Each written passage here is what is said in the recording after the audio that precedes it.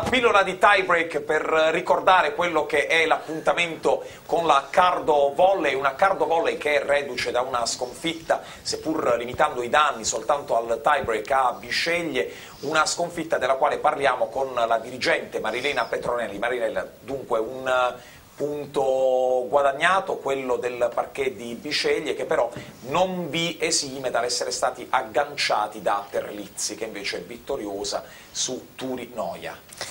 Sì, mm, diciamo che... Eh Abbiamo perso sì, però mm, io sono contenta della prestazione, abbiamo giocato contro una squadra abbastanza ostica, soprattutto ehm, sul loro campo, è, è, difficile giocare lì a Biceglie, quindi alla fine mh, mm, io ritengo che sia eh, un punto guadagnato, forse quello che non ci si aspettava era la vittoria del Terlizzi in casa sul Turi, che, quindi ha permesso ora al Terlizzi di agganciarsi al ter, terzo posto.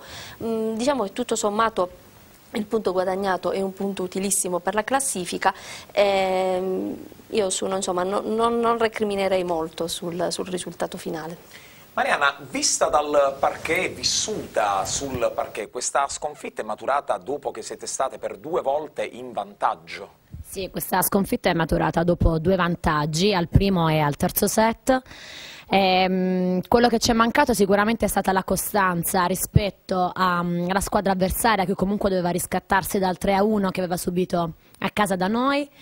Eh, sicuramente il loro affiatamento è stato maggiore, noi abbiamo qualche volta reso meno, però quello che è importante adesso è guardare mm, al proseguo del campionato perché adesso tutti i punti che eh, che vanno persi sono molto importanti, quindi dobbiamo lavorare con costanza e provare a raggiungere il nostro obiettivo che è quello dei playoff.